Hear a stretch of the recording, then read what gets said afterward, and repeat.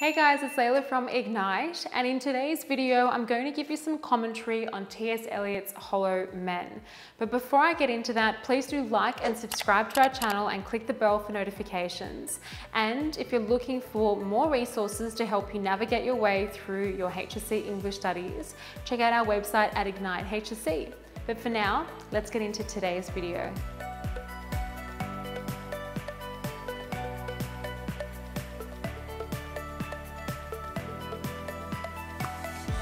So in today's clip, I'm going to give you a very quick summary of what occurs in T.S. Eliot's Hollow Men, and I've tried to simplify it to the extent that if you're really not understanding at all what's going on in this, what can be quite a complex poem, it'll make it quite digestible for you at its largest level.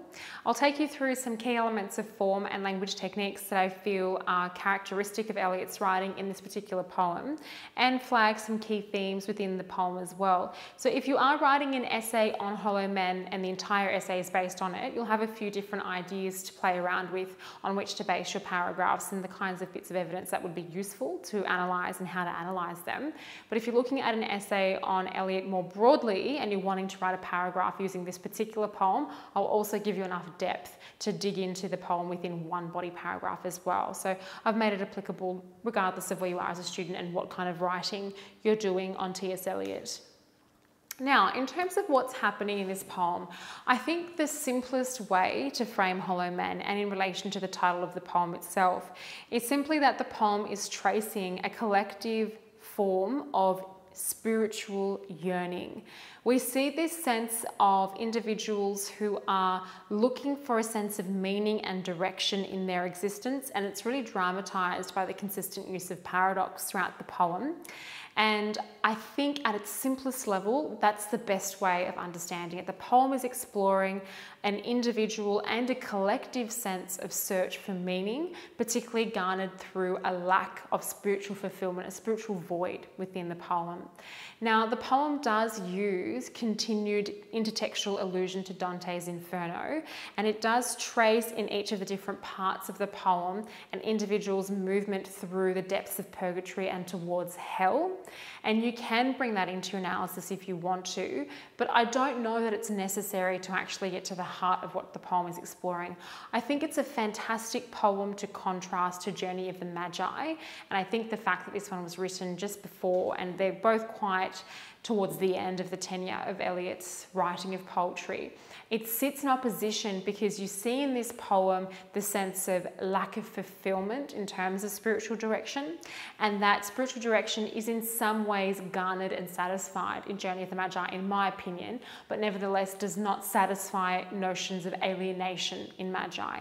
So there is this sense of connection in terms of collective yearning in Hollow Men, and that yearning is to an extent satisfied in Journey of the Magi. However, we do see the individual sense of returning to an inescapable sense of alienation once they have had that spiritual renewal in Magi. So that's a nice little opposition. Another little bit of advice, I think that in your Eliot essays for Module B, you do want to have that nice progression in each of your paragraphs. I often advise my students in paragraph one to explore an element of Eliot's external landscape, so perhaps the decay, the decay of the urban landscape, the debris of the decaying modern world. Paragraph two, an internalization of that external world, how it affects the psyche of the modernist man, and a sense of spiritual disillusionment would feature quite nicely in that second paragraph. So Hollow Men would work well in the middle of your essay. And I think a poem like Journey of the Magi, exploring whether there is possibility of hope or spiritual renewal to transcend the complexities of Eliot's world could be nice at the end of your essay. So have a think about progression when you're writing your essays on Eliot. You want there to be a nice logical flow through the ideas that you're presenting. And I've just flagged some suggestions for that there. So yes, it is the collective yearning for spiritual fulfillment. And to reiterate that, I just wanted to show you the opening, right? Um, it says here, we are the hollow men, we are the stuffed men, leaning together, headpiece filled with straw, alas. And I think the anaphora of we are reinforces the collective yearning for that spiritual fulfillment. And I think that the direct paradox between hollow and stuffed evokes the sense that during Eliot's time, individuals didn't necessarily digress from religion altogether. When you look at statistics from Eliot's time, people didn't decline from attending church. However, there was undoubtedly the rise of existential thought and philosophy, particularly in France, and Eliot was quite versed with the thoughts and ideologies of Nietzsche, who famously quoted, right, God is dead, and Camus, who was very interested in the individual determining their direction in life as opposed to a supernatural predestined force that is governed by God. So I think that the contrast between hollow and stuffed, it speaks to this sense of having a hollowness, a voidness in terms of spiritual direction, but still feeling inadequately stuffed by typified conservative and orthodox religiosity.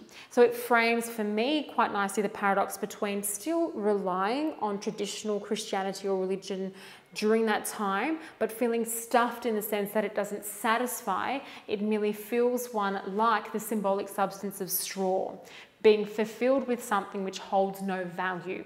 So I think the poem is nicely evoking the spiritual complexity, the nuance of it during Eliot's time. And I wouldn't want you in your essays to merely say that individuals digress or reject traditional Christian ideology. It's more about their questioning in light of existential thought of a need for a greater sense of spiritual direction and fulfillment. Okay, so we've got the anaphora, the paradox, and the symbolism of a headpiece filled with straw. And the straw is, of course, a motif throughout the poetry which frames the individuals as being stuffed with an inadequate source. We have, as I mentioned, in terms of form and techniques, intertextual allusion. There are multiple references to Dante's Inferno throughout the poem, and that serves to frame the descent of the soul into hell, and perhaps it is illustrative of the individual's lost hope in moving towards God or indeed questioning the conservative values of religion during this time and whether it satisfies the individual. Knowing, of course, that Hollow Man is written well into the 1920s, right? So it's post World War One. And against the rhetoric of Nietzsche's God and Dead and the amount of death that occurred in war, people were certainly questioning that if there is really a God and if religion does offer hope, how could the atrocities that have unfolded during this time manifested in the way that they did. So I think if you're thinking about the descent into hell, questioning religion, tie it back to the elements of context that really feature in Eliot's world. And we have other clips, by the way, on context specifically relating to this if you want to look into them. But this nicely all ties together the integrity of Eliot's work as he relates to the context in which he's writing. Use of paradox, as we've mentioned, the constant antithesis between being hollow and stuffed, and the motifs throughout the poem of that sense of voidness within the individual related to the superficiality of straw as that which cannot satisfy the individual's yearning. In terms of themes in the poem, you can consider elements of spiritual crisis, that sense of existentialism in not being fulfilled by traditional forms of religion. We also have the value of mortality, death as inescapable, and how the individual attempts to reconcile that. And of course, the futility in existence. If we are hollow, if we don't have that spiritual fulfillment, what is the purpose to modern life and existence? So guys, I hope you're feeling a bit more confident with what's happening in Hollow Men, what to make of the intertextual allusions, what the key themes are, and how you can, of course, relate this poem to Eliot's context and perhaps contrast it to Journey of the Magi. And I've given you some ideas to toy with in terms of structuring an Eliot essay more broadly.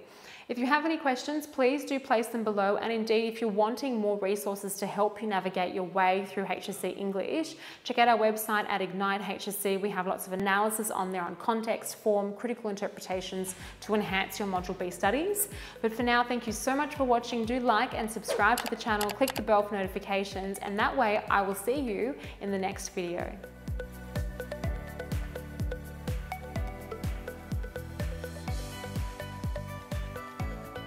Hey guys, thank you so much for watching. If you do like the content, subscribe to our channel and we'll have more videos coming your way. That's right guys, thanks for watching and please make sure you check out our online resource database. We've had a team of state rank achievers and heads of English put these together for you, covering everything from essay structures and examples all the way through to craft of writing and comprehension skills. So check them out at ignitehsc.com.au, and we look forward to seeing you in the next video.